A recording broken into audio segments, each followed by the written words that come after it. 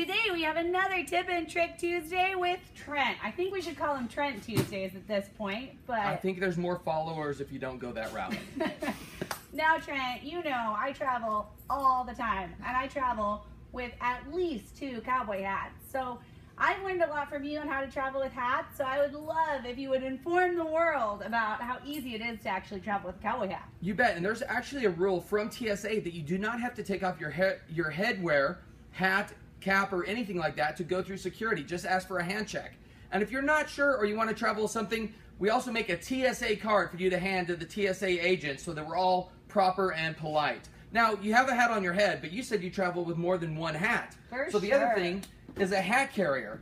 A hat carrier, uh, they're all adjustable on the inside. The most important thing to do is to make sure that you adjust these to fit the hat snugly so it doesn't fall off or hit the bottom and flatten out the brim. I think that is a great traveling trick tip Tuesday.